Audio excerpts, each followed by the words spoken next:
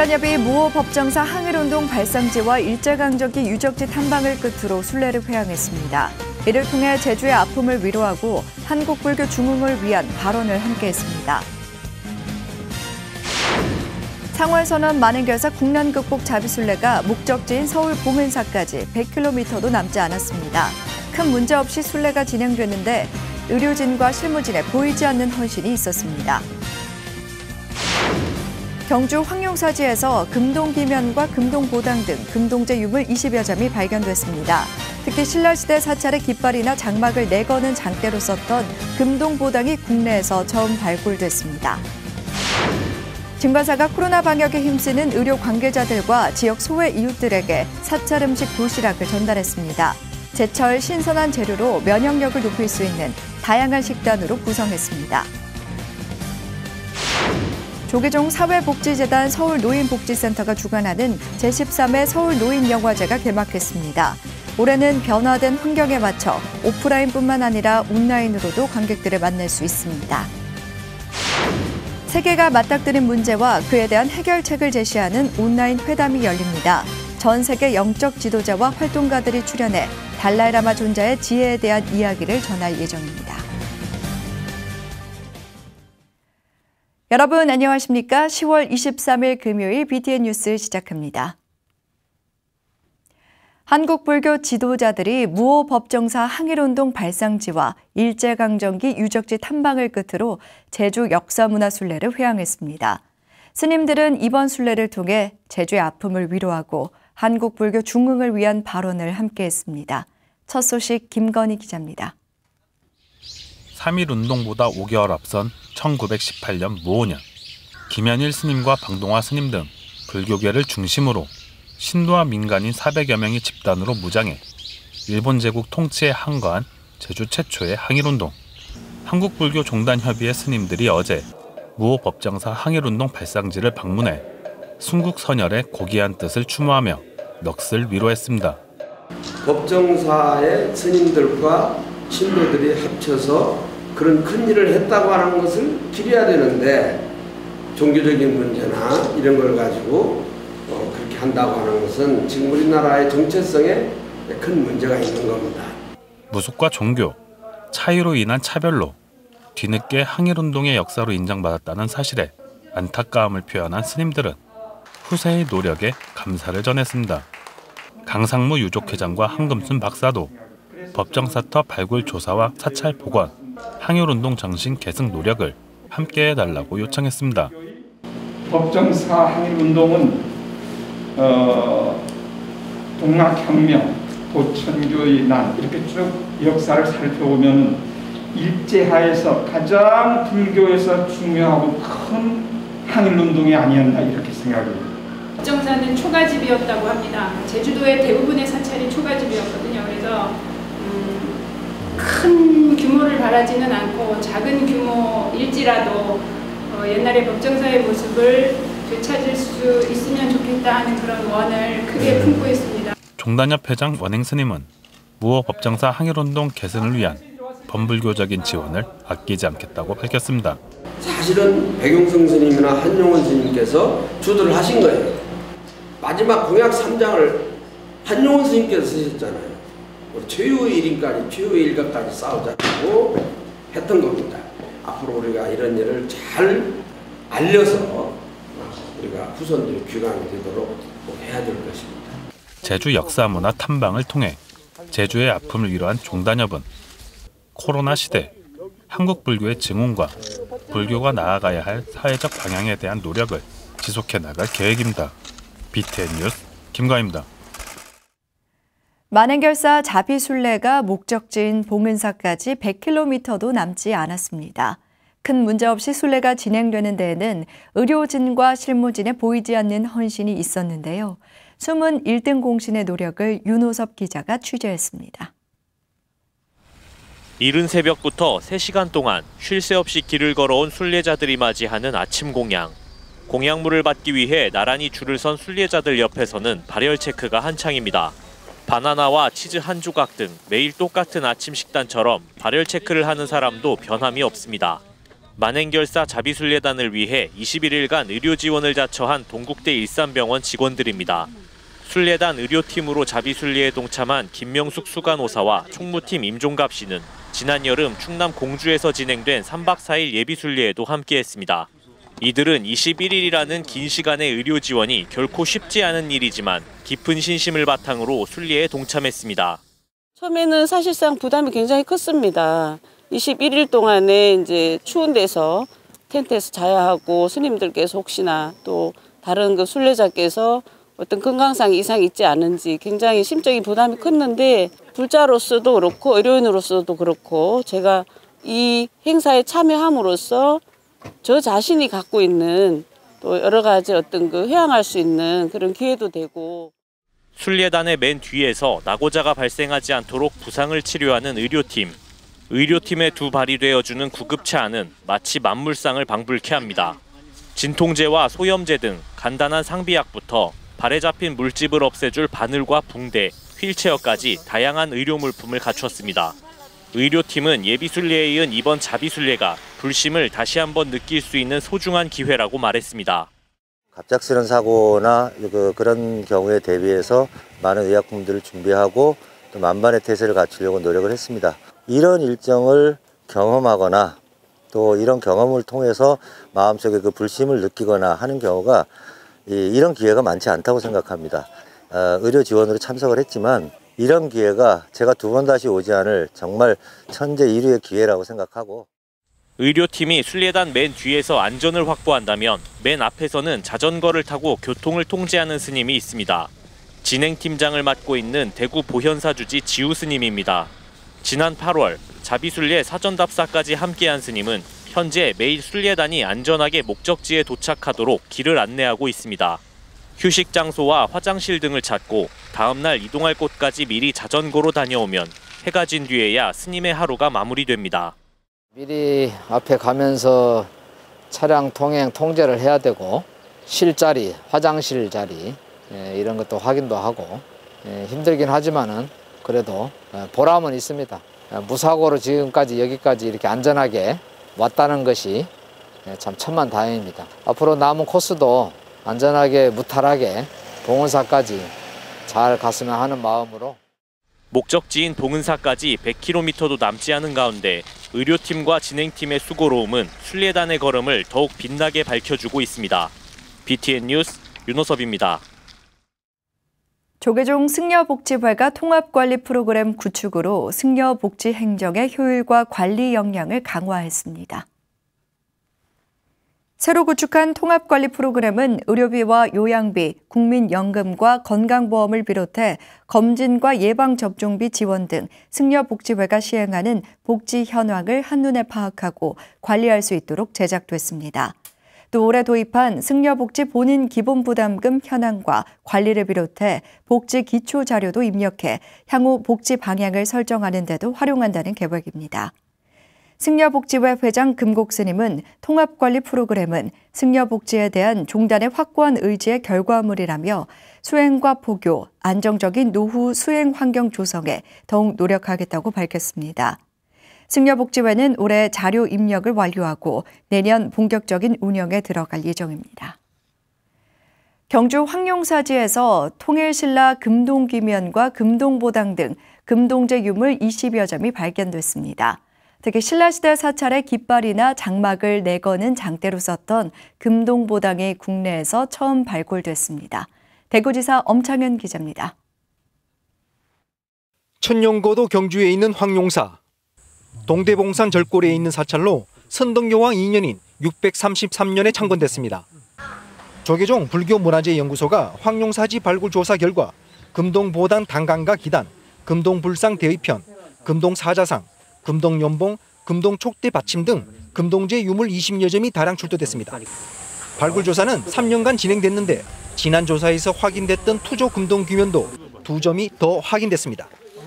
세 점을 비교했을 때 차이는 뭐냐면 입 모양, 그다음에 이빨, 그다음에 눈썹 모양, 그다음에 뿔 모양 이것들이 약간씩 차이가 있습니다. 특히 신라 시대 사찰의 깃발이나 장막을 내거는 장대로 썼던 금동 보당이 국내에서 처음 발굴됐습니다.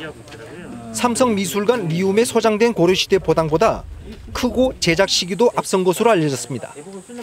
어, 이번에 금당 보당은 어, 부처님의 어떤 의식을 할 때 법당 안에서 어, 그런 의식의 절차로서 쓰는 도구였고 어, 이번에 2차 발굴을 하면서 어, 국내에서는 가장 큰 최초로 예, 학술적인 의미가 크기 때문에 금동불상 대위편은 직경 30cm가 넘으며 전체 비례로 볼 때 약 1m 이상의 대형 금동불이었던 것으로 추정됩니다.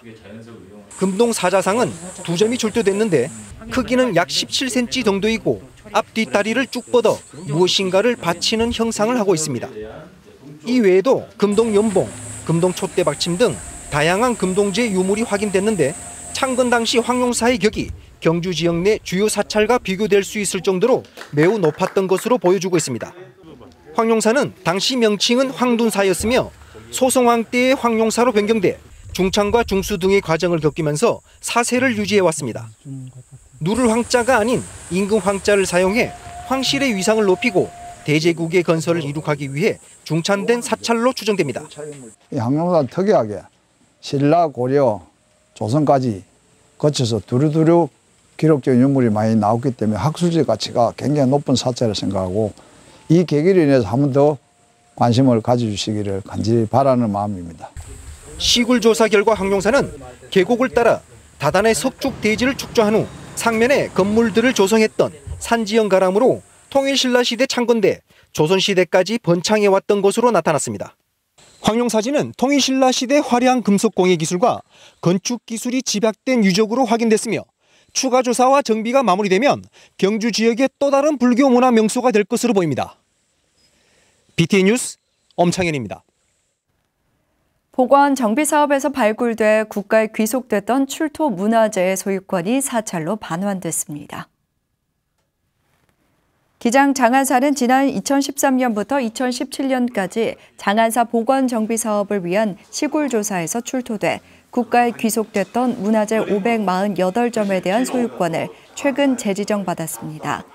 장안사 주지 무관 스님은 불교 문화재는 단순히 역사의 의미를 떠나 성보의 가치를 지니고 있기 때문에 발굴됐던 사찰로 되돌아가는 것이 맞다며 이번 결정을 환영했습니다.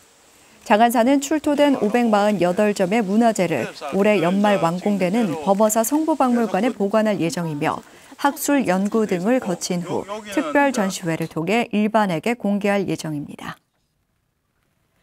진각종이 지난 춘기 스승 강공을 온라인으로 개최한 데 이어 두 번째 온라인 강공을 개최했습니다. 진각종이 어제 시민을 귀명하여 공양합시다를 주제로 진기 74년 추기 스승 강공을 온라인으로 개최했습니다. 임기 만료를 앞둔 통리원장 회성정사는 지난 4년의 소회를 밝히고 서원과 결집이 필요하다며 부단한 정진을 강조했습니다.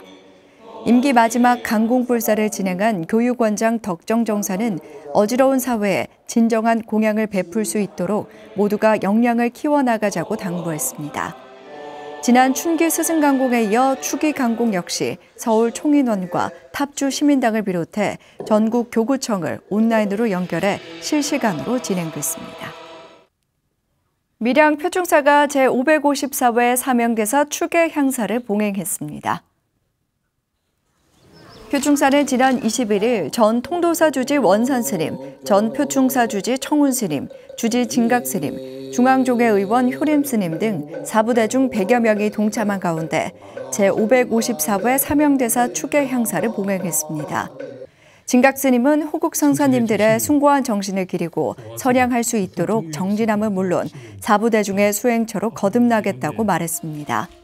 추계 향사는 헌양, 헌다, 종사 영반, 헌화 순으로 진행됐으며 서산 사명 기허 3대 성사의 호국 충원을 추모했습니다.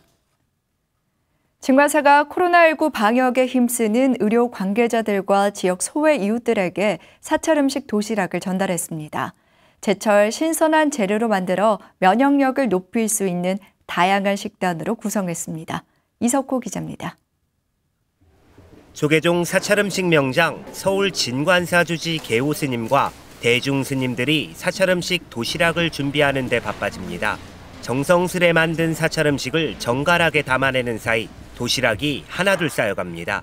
이른 새벽부터 정성껏 만들었고 푸짐한 음식만큼이나 온정도 가득 담겼습니다. 코로나19로 인해서 모든 사람들이 어, 우울해하고 아주 이렇게 좀 마음이 좀 안 좋잖아요. 그래서 저희들이 의료진들과 어르신들 그리고 지역 아동센터 모든 이런 소외계층 분들에게 이 음식을 드시면서 치유할 수 있는 사찰 음식을 정성껏 마련했습니다. 홀몸 어르신을 비롯한 지역의 소외 이웃은 물론 코로나19 방역 최일선에서 힘쓰고 있는 의료 관계자를 위해 마련한 것입니다. 도시락은 연잎밥과 두부조림, 가죽 장아찌, 무말랭이 등 11가지 메뉴로 구성했습니다. 코로나19로 지친 몸과 마음에 활력을 넣어주고 맛과 영양은 물론 면역력을 높여줄 수 있는 다양한 식단으로 꾸며졌습니다. 진관사는 코로나19 확산 방지와 예방에 진력하는 은평구 보건소를 찾아 도시락을 직접 전달하고 감사의 마음을 전했습니다.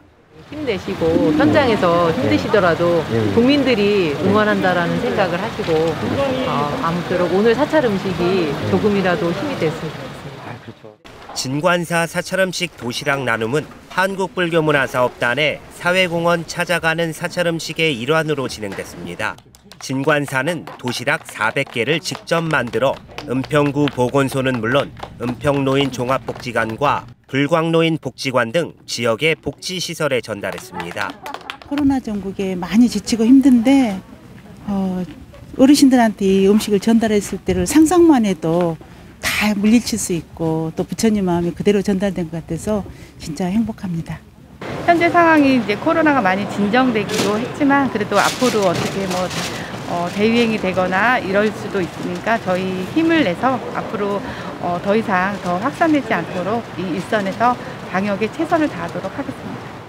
진관사는 사찰음식 도시락 나눔을 지속적으로 이어가는 한편 코로나19가 조속히 극복되고 더불어 함께하는 행복한 세상이 되기를 바라냈습니다. BTN 뉴스 이석호입니다. 조계종 사회복지재단 서울 노인복지센터가 주관하는 제13회 서울 노인영화제가 개막했습니다. 올해는 변화된 환경에 맞춰 온라인으로도 관객들을 만날 수 있습니다. 정준호 기자가 소개합니다. 2020 서울 노인 영화제 개막을 선포합니다. 감사합니다. 개막 선언과 함께 박수가 터져 나옵니다. 조계종 사회복지재단사나 서울노인복지센터가 주관하는 서울노인영화제가 개막했습니다. 코로나19 확산 방지 차원으로 참석 인원은 적었지만 온라인 중계를 통해 각자의 위치에서 응원할 수 있도록 했습니다.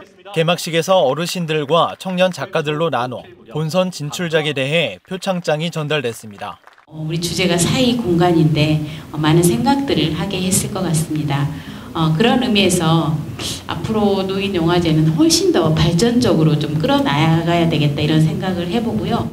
사람과 사람 사이의 중요성을 한 번 더 생각해야 하는 지금 시대 속에서 잡은 영화제 주제 사이 공간. 영화제의 국내 344편, 해외 2,905편이 출품돼 최대 접수 기록 경신을 이어갔습니다. 서울 노인영화제 홍보 대사들도 영화제를 발전시켜 나가야 하는 중요성에 대해 역설했습니다.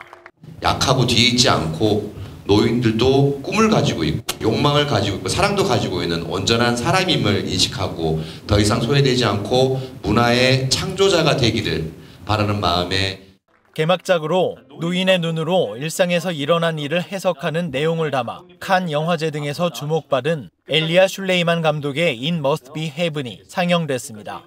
서울 노인영화제 집행위원장 희우스님은 연초부터 영화제 준비 모든 과정에 어려움이 있었다며 개막식을 열 수 있도록 도와준 사람들에게 감사를 표했습니다. 연초에 코로나가 생겨서 우리 영화제 준비를 하고 있었지만 과연 우리가 개막식을 할 수 있을까 고민하다가 온라인과 오프라인을 동시 상영하는 걸로 해서 준비를 시작했는데 어, 함께 어, 개막식 현장에 참여하지는 못하지만 어, 온라인으로 함께 응원해 주시고 또 같이 어, 개막을 축하해주는 모든 분들한테 감사하다는 말씀을 드리면서 서울 노인영화제는 폐막일인 24일까지 본선 진출 작품 55편을 포함한 85편의 영화가 서울 극장에서 상영되고 유튜브 등 온라인을 통해서도 참여할 수 있습니다. BTN 뉴스 정준호입니다.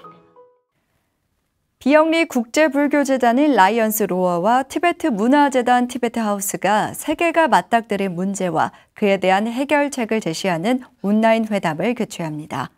전 세계 영적 지도자와 활동가들이 출연해 달라이라마 존자의 지혜에 대한 이야기를 전할 예정입니다. 최준호 기자입니다.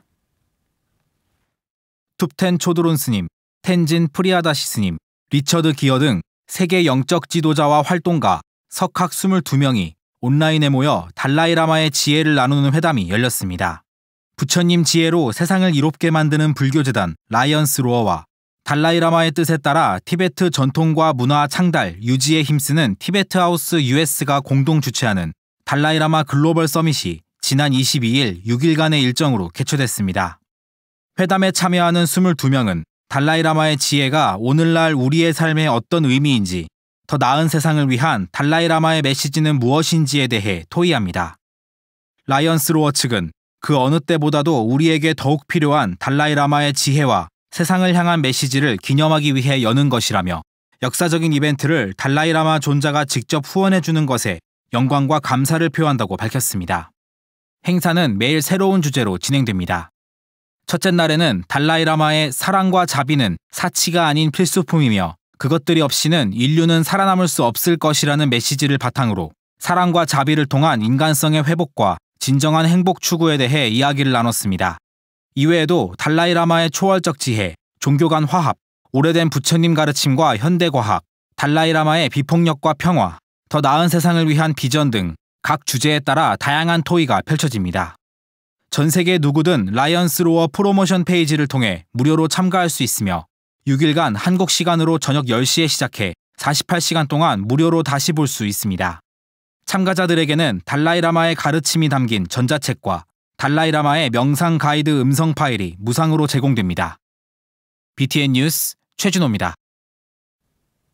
조계종 사회노동위원회가 지난 2009년 극단적인 선택을 한 보조 출연자 집단 성폭행 사건 피해자 자매의 천도제를 어제 MBC 앞 광장에서 봉행했습니다. 천도제는 사회노동위원회 스님들과 피해 유가족 어머니, 할머니 공동 주최자인 한빛 미디어 노동인권센터 활동가들이 참석해 영가의 극락왕생을 발언했습니다. 산호위 부위원장 지몽 스님은 오늘의 천도제로 고인의 넋이 위로되고 가해자들이 자신의 죄를 참회하고 고인에게 진정한 사죄가 이뤄지길 간절히 바란다고 말했습니다. 피해자 어머니인 장연옥 씨는 사건에 대해 미온적인 대응을 보인 경찰과 가해자들이 여전히 활동하고 있는 방송계를 강하게 성토했습니다. 지난 1970년 창립해 50주년을 맞은 천태종 강릉 삼계사 신도회가 기념 대법회를 봉행했습니다. 지난 18일 삼계사에서 봉행된 법회에는 천태종 종의회 의장 도원 스님, 삼계사 주지 설해 스님, 김진우 신도회장, 김한근 강릉시장 등 자부대중이 동참한 가운데 신도회 50주년을 축하했습니다. 도원 스님은 상월 원각대조사님이 강릉 지역 불자들과 첫 인연을 맺은 지 50년이 되는 뜻깊은 날이라며 삼계사를 중심으로 수행정진과 전법교화에 등불이 되길 기원했습니다. 설해 스님은 신도회가 영동지방 천태신앙의 중심으로 자리매김하는데 큰 역할을 했다며 지혜와 자비를 더해 다음 세대를 이끌어갈 천태 불자들의 원력을 하나로 모으자고 말했습니다. 티베트의 불화 탕카를 한국에서 판화로 감상할 수 있는 자리가 마련됩니다. 치악산 명주사 고파나 박물관이 오는 24일부터 내년 1월 31일까지 특별전 파나로 보는 티베트 탕카 예술을 연다고 밝혔습니다. 티베트 목각 인쇄의 발원지로 알려진 중국 스촨성 덕어인증 위원회에서 모은 200여 점의 탕카 파나 중 150여 점을 선별해 50점씩 세 차례에 걸쳐 전시합니다. 11월 말까지 열리는 첫 번째 전시회는 부처님의 탄생부터 출가 수행, 열반에 이르는 일대기를 파나로 만날 수 있습니다. 특별전과 연계해 오는 24일부터 25일 학술대회와 파나시연회 등 문화제도 개최됩니다. 한선아 고파나 박물관장은 이번 작품들은 처음으로 국내에 소개되는 것들이 많아 연구자들에게 좋은 자료가 될 것이라고 말했습니다. 금요일 7시 BTN 뉴스를 마칩니다. 함께해 주신 여러분 고맙습니다.